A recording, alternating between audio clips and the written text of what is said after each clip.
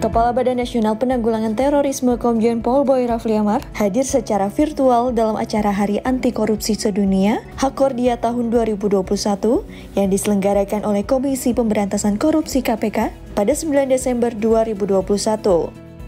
Dilaksanakan secara daring dan luring, acara tak hanya dihadiri oleh jajaran KPK, namun juga oleh Presiden Republik Indonesia Joko Widodo, Menteri Kabinet Indonesia Maju, pimpinan daerah dan aparat penegak hukum, serta dapat disaksikan langsung oleh seluruh masyarakat Indonesia.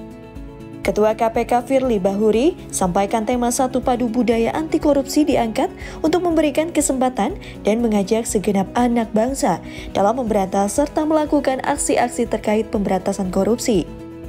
Layaknya terorisme, korupsi termasuk ke dalam kejahatan luar biasa yang di mana dampaknya sangat besar dan merugikan. Untuk itu masyarakat harus bersatu padu untuk memberantas kejahatan korupsi dan terorisme guna terciptanya Indonesia yang damai dan harmoni.